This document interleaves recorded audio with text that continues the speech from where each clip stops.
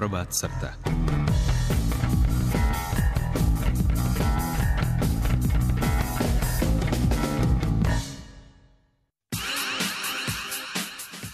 Dobro jutro, dobar dan, želim vam poštovani slušatelji u jutrošnjem izdanju emisije Prva crta koju tonski realizira Ivana Kegeduš, a ja sam Miruna Kastratović.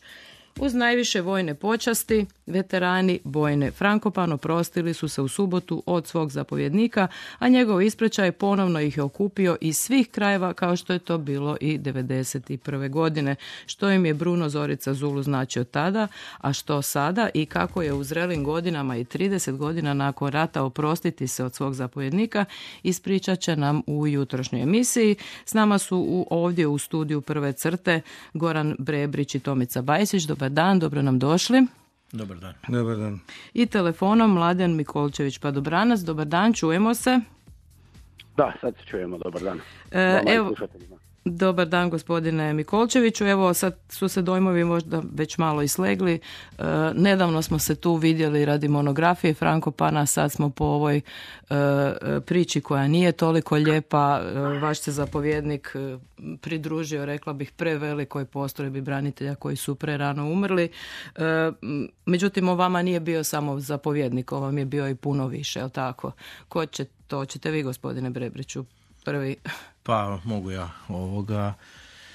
E, mi smo kao e, sa nekakvim improviziranim ratnim iskustvom došli u bojnu Frankopan gdje, e, gdje smo vidjeli sasvim jednu drugu sliku da je to profesionalna vojska koja ovoga e, profesionalna jedinica znači koja je tek bila u, u razvoju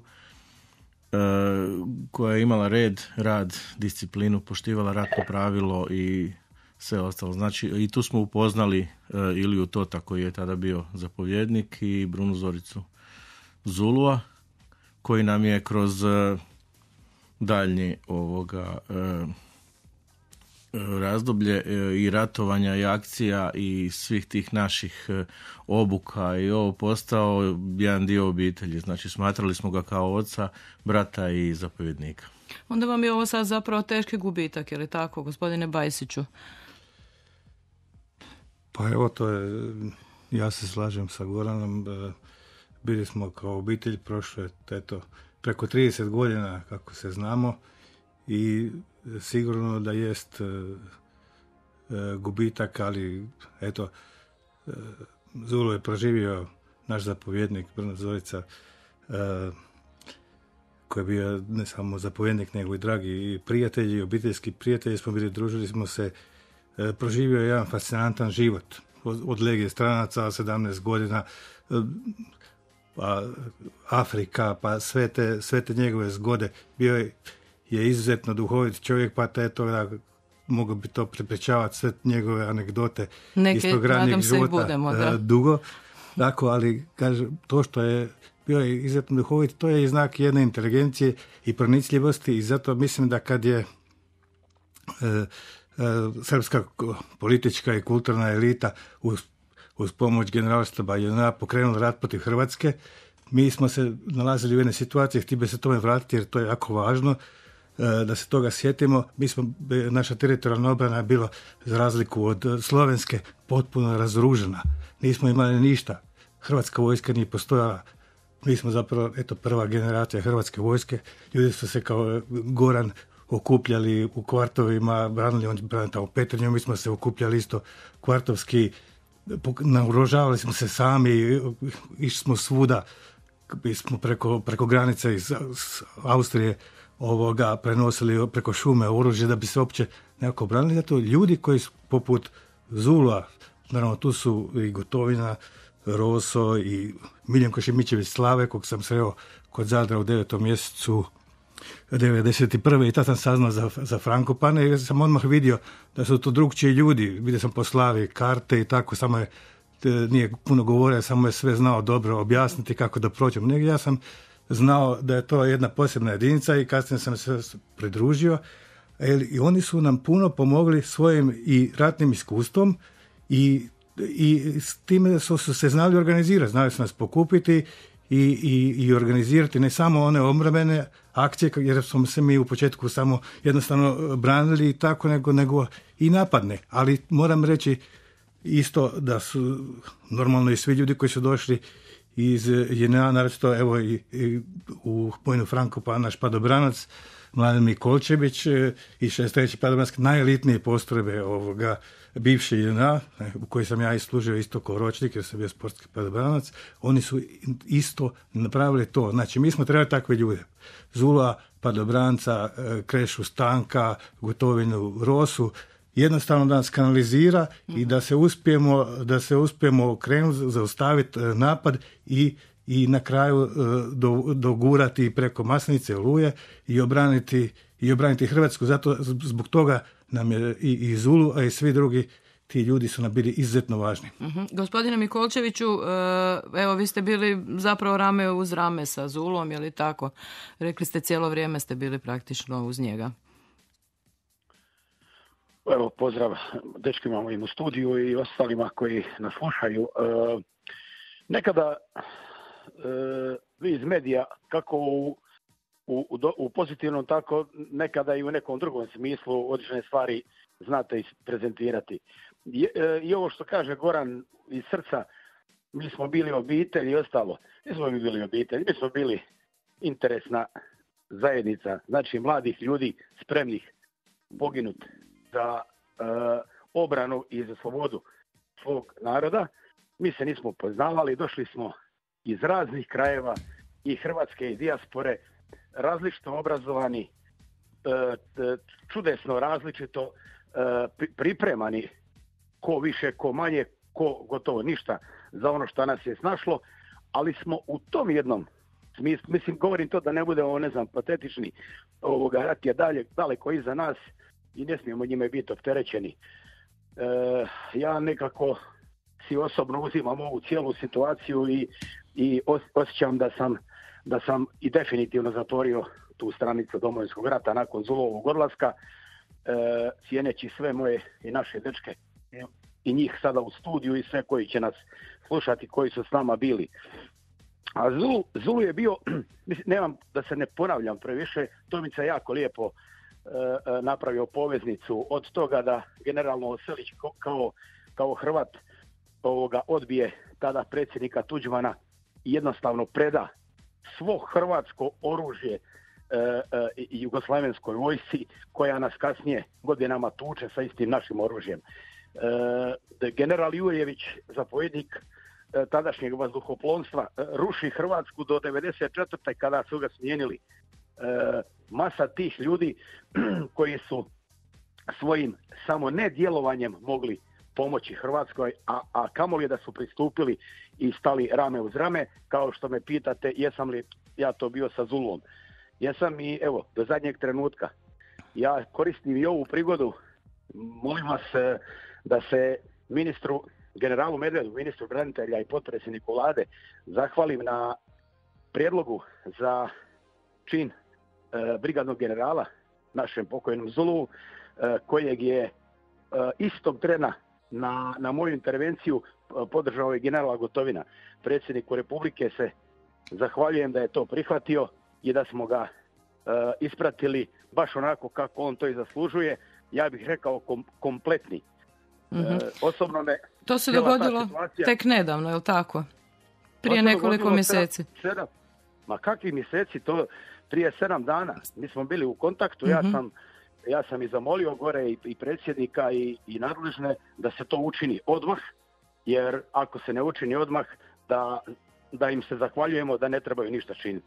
I doista, doista je to napravljeno, doduše ništa se nije preskočilo, sve je prošlo redovitu proceduru, međutim išlo je po hitnom postupku. I eto, da se to nije tako dogodilo, on ga živ ne bi ni dočekao. Tako da i to je jedna stvar koja, eto, na njegovom odlasku sa ovog zemaljskog svijeta e, ipak znači puno.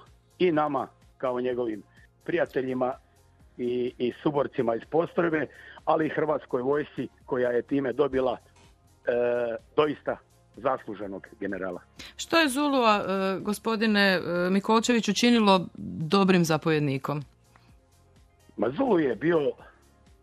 E, Osim što je očito bio sa velikim iskustvom, očito što je znao šta radi. On je prvenstveno imao životno iskustvo. Od, e, od, od ne znam, prašuma, Džibutija i, i sličnih e, lokacija na kojima je kao legionar prolazio i obuku i živio i funkcionirao do, do nepredvidivih situacija u E, ranih 90-ih u kojima smo zajedno poslagivali našu neku taktiku i strategiju i tako dalje. On je bio iznimno inteligentan čovjek. On je, on je e, e, nevjerojatno brzo reagirao. znate kako je, ja, ja sam ja sam zrakoplova, ja sam padobranac po vokaciji nekoj. I, I uvijek se kaže, ako imaš problem nakon što si napustio zrakoplov avion, i pomislio si da odbacuješ glavni padora i otvaraš rezervu, učini to odmah, pa makar i pogriješio.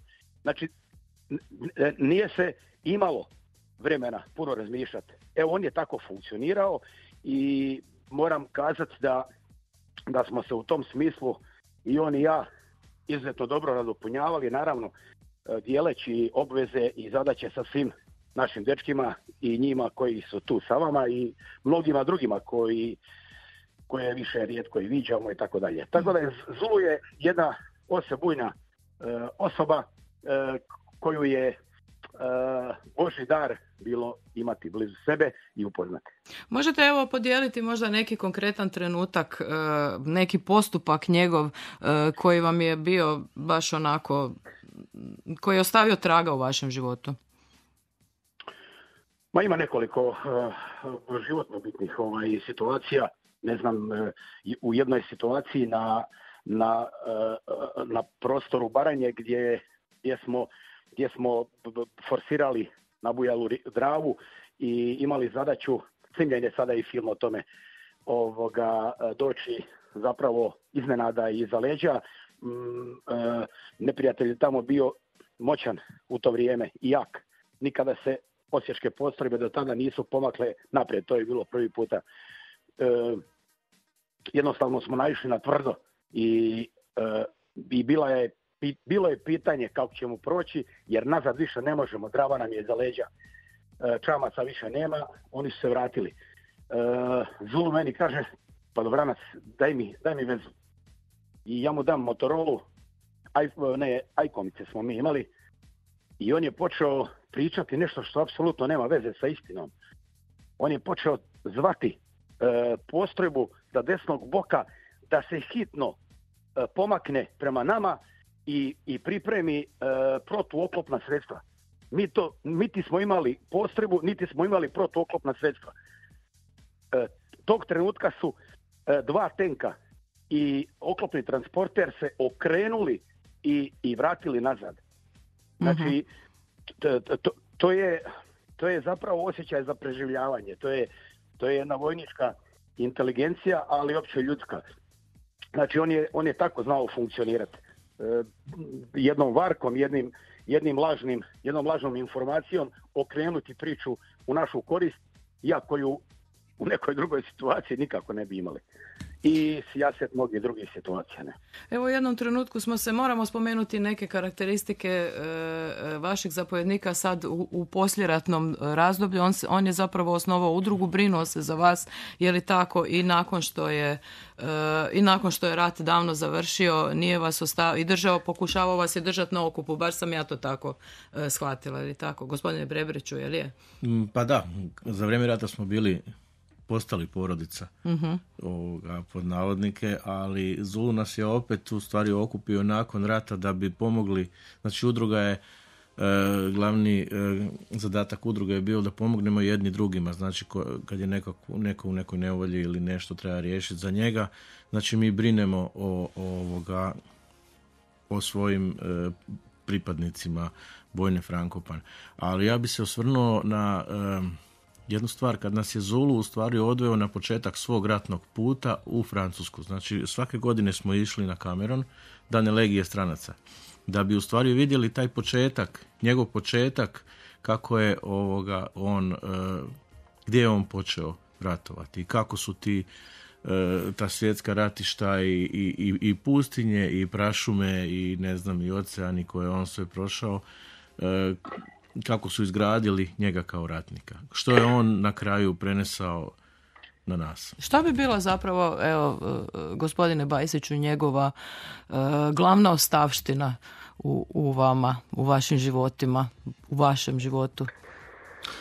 Pa, ja bih htio ponoviti eto, ono što sam i rekao kad sam bio tu prošli puta, kad smo predstavljali monografiju uh, o Bojni Frankopan, da je eto uh, Bojna Frankopan je na neki način bila njegovo životno djelo, to ga je potpuno obilježilo uh, i, i tome se je potpuno posvetio i živio i dalje i dalje za, za Bojnu. I tako da kroz tu udrugu i evo sad sam slušam isto pa sjećanja na viru, kako te, ta improvizacija što je bila neophodna, što je sad tipa Dobranac govorio, selo Dragišić i Šibensko zaleđe, uh, oni nisu imali pojma, toliko nas je bilo malo, ali oni s tim motorovlama i, i na francuskom, ovi čuju francuske veze i ovi su se razbježali čim smo mi ušli u selo. Uopće nisu imali pojma, mislili su ovo bilo tamo, kad smo oslobodili to selo Dragišiće, da nas ima uh, stotine, jer toliko je dobro on znao improvizirati grupe i tako da, da, da uh, izvrsne akcije i uvijek je pomno planirao, nije, nije išao ovoga nikad E, nije išao nikad na slijepo, ali kad bi, ali kad bi ovo nešto smislio, to bi odradili izvrsno. Znači, pazio na čovjeka, što je strašno važno, to je, e, e, jer čovjek u nas je bila stara ruska izreka ovoga živa sila. Izgubili smo toliko žive sile, toliko kaza minobacača, toliko ovoga. U smislu nisu bili važni ljudi. Nisu bili ljudi, a svaki čovjek je čovjek za sebe i to su evo ga, i to je Zulu tu pazio, nije se E, nije se davo, nije bio karerist, nije, nije razmišljao o tome da, da postigne sebi neku, neku e, neku višu, e, višu ovoga položaj zbog toga, nego jednostavno pazio, a kad se išlo, onda se išlo i, i sve te akcije i Zanagline i ovi Ridići i sve, i sve što i tako, sve što se, se radilo i, i, i, i Maslinica i tako, onda je ovoga bio je ovoga stvarno dosljedan i, i, i, i uvijek bi proveo ono što je zamislio i znao je i moral očuvati kad je bilo recimo maslinica, onda su ljudi bili kak je bio protunapad, onda su ovi domaći e, ovoga jednostavno uhvat, e, dosta je bilo kod njih i panike i tako, onda on stavio kapu Mickey Mouse i tako nekako je pokušao i tako ih umiriti. Evo to su neka moja sjećanja, ali evo ga i to da je bio izuzetno i duhovit i, i, i blag e, čovjek s kojim se e, moglo ovoga e, stvarno prijateljevati i to, i to će nedostajati. To, to će nedostajati, to prijateljstvo je to. Da. E, u jednom trenutku kad sam ga snimala, ispričao je situaciju kad je, sad ne znam ko je sve bio u, pitanju, ali znam da je bio gospodin Brebrić, e, kad negdje ste bili stacionirani, bilo je valjda mirno i uglavnom bilo vam je dosadno i e, radili ste neke stvari koje su mogle biti i opasne za vas i onda je rekao da je nazvao nekog zapovjednika rekao daj uzmi par mojih dečki da malo nešto rade, ali tako ste otišli na neko to isto pokazate da je mislio na to što će s vama, jel? da mu nije bilo ono kao što ste rekli svejedno ostavit ćemo sad tu pa do sljedeće akcije, jel? Da, Zulu nas je e, i nagrađivao i kažnjavao, uh svaki roditelj koji je to ovoga, jer mi smo bili, e, kažem, kad smo došli u Vojnu Frankopan, e, većina nas je bilo kao nestašni klinci. Ja sam imao 20 godina ovoga, kao i većina mojih vršnjaka, što mogu reći, da smo došli tamo i poslao nas je jednom prilikom pokazni u Osijeku u Tenski Antunovac, gdje smo mi u principu zaustavili prodor četnika od sela Brest e, i onda nas je ono, e, baš ima jedan e, dio u monografiji gdje kaže htio sam ih kazniti, na kraju sam ih morao nagraditi. Mhm. Tako da, da. Uvijek je vjerovao u nas i mi u njega i uvijek smo imali taj nekakav, ne znam kako bi to nazvao, roditeljsko, zapovjednički E, odnos, odnos prema njemu. uh dobro, recite gospodine Bajsiću. Pa samo sam ti još e, nadodati jednu, jednu važnu isto njegovu crtu, da je on uspio toliko različitih ljudi, a ono što je sad sam padobranac isto rekao na početku, mi smo dolazili iz različitih e, krajeva i iz različitih e, e, društvenih situacija i on je sve i strane dragovoljce dolazili su svakakvi pa kažem i ovi najmlađi studenti i tako i, i sve on uspio povezati homogenizirati toliko različitih ljudi i da i napraviti jednu učinkovitu malu jedinicu zajedno sa padobrancima i drugim zapovjednicima, jednu malu jedinicu koja je bila mala po broju, ali koja je napravila strašno puno u Hrvatskoj i Bosni i Hercegovini. E, u ratu. Ne smijemo zaboraviti ovaj jedan dio koji je meni osobno, a sad dva, slušatelji će procijeniti kako oni gledaju na to, e, meni je bilo jako lijepo to što je on neko vrijeme brinuo za tu janjac od svog prijatelja koji ima OPG, jel? pa je pričao da je on, ono janje koje nije imalo šanse preživjeti, on uzeo kod sebe u Zagreb da, da, da bi preživjelo jel? i onda ga je vratilo nazad. I, ovoga, I tako sam isto, ja sam radi toga ga zapravo snimala i onda je, dok smo mi razgovarali u prostorijama udruge, e, to janje u jednom trenutku počelo grickati rub zastave Frankopana, jel? I onda ga je on onako samo blago odmaknuo, to mi je pokazalo da, je da mu je važnije živo biće od forme, jel? To mi je nekako bio baš dobar pokazatelj njega kao čovjeka. Kak ste vi gledali na to što on e, sa janjetom hoda po Zagrebu? Pa Zulu je u principu ima meko srce meko srce i strašno dobar čovjek je bio. I prvi put kad sam ga ja vidio s tim janjetom, u stvari, sam rekao, ja sam mislio da je pudlica na ovoga. Pa je on rekao da je to uh, dalmatinski šarplaninac koji mekeće i milo, mislim svima je bilo čudno kao e, jer na početku rata tko god je e, spomenuo Zulu, a mislio je da je to čovjek koji ima, ne znam, 150 kila mišića, da izgleda kao Rambo, Zulu je bio sitne građe, u stvari, Tomica što je rekao, bio je super inteligentan kao ratnik i to, a u, u principu u nekoj pozadini on je imao meko srce. Znači ono izvući jadno janje koje je predviđeno da bi ga pojeli, on ga je šetao sa dudom po Zagrebu recimo, sa plašicom, sa mlijekom i ne znam, ono, mi smo ga poznavali, a neki ljudi koji su mislili da je ono Zulu nekakav strah i trepet, u stvari Zulu ima vrlo, vrlo meko i dobro srce. Evo, gospodine Mikolčeviću, e, opet smo završili u ovom emotivnom dijelu. E, e, evo, možda možemo sa vama nekakvu završnu misa dati. Kako će se dalje možda čuvati ta uspomena na njega u Frankopanima? Vi ste rekli da ste vi sada gotovi s ratom što se vas tiče. Jesam dobro shvatila? rekao sam da sam gotov s ratom, ali ne sa udrugom i sa, uh i sa e, svime što očekujem da dalje nastavi djelovati. Ali da ne bismo završili u, u, tako, u tako lakom tonu ovaj, e, priči o Janjetu i, i, i njegovoj blagosti, e, bez obzira na njegovu građu i bez obzira na našu postrebu koja je bila malobrojna, ali sigurno mentalno, fizički a i tehnički spremna e, raditi i odraditi najzahtjevnije zadaće kao što je to tako i bilo. E, nas su se jako, jako bojali. I to će znati svi oni koji znaju gdje smo bili i što smo radili. Mm, isto tako vi e, nitko ne spominje da smo izbrisani iz hrvatske povijesti do prije nekoliko godina. Vojna Frankopan nije postrojala u ustroju, u bivšem ustroju znači e, e, Hrvatske vojske i Domovinskog rata. Vraćeno je to kad smo dobili zastavu i plamenac i, i zelene beretke su, baš kao i prije 90 godina u Americi, bile jednostavno izbrisane iz povijesti. E, sa druge strane, mi imamo i dobre i drage prijatelje i isto tako ovom prilikom, samo zato jer je Zulu učinio zadnje dane puno lakšim. Zahvala doktoru Ćorošiću i našem ratnom doktoru, on je danas ravnatelj na Rebru, e, kao i mnogim medicinskom osoblju kojemu je dalo e, ruku i pomoglo u njegovim najtežim trenucima jer je imao strahovite bolove. E, sve smo to proživljavali zadnje dane kao i njegova obitelj najviše naravno, ali smo zato i potegli ljudski kako bismo mu dali počast koju zaslužuje i kako bi mu tada su Bad Blue Boys i Torcida zajedno e, prostarali transparent pa Armada, pa Kohorta, pa sve navijačke skupine. To se još niti za jednog hrvatskog e, vojnika ni časnika nije dogodilo. Jeste za njega.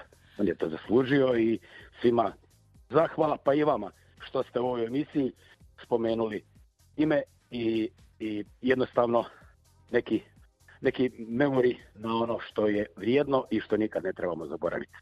Hvala i vama, evo, e, gospodine Mikolčeviću, što ste se uključili u današnju prvu crtu. Zahvaljujemo i gospodinu Brebriću i gospodinu Bajsiću što su bili s nama. E, Cijetili smo se, evo, ispričali par crtica o njihovom zapojedniku e, Bruni Zorici Zulu, od kojeg su se prošli tjedan morali oprostiti. Od nas radija emisiju smo realizirali, tonska realizatorica Ivana Hegeduš, producentica Davorka Pukljak, ja sam Miruna Kastratović. Iduća emisija na programu je za tjedan dana u utorak ujutro u 9.30. Prva crta.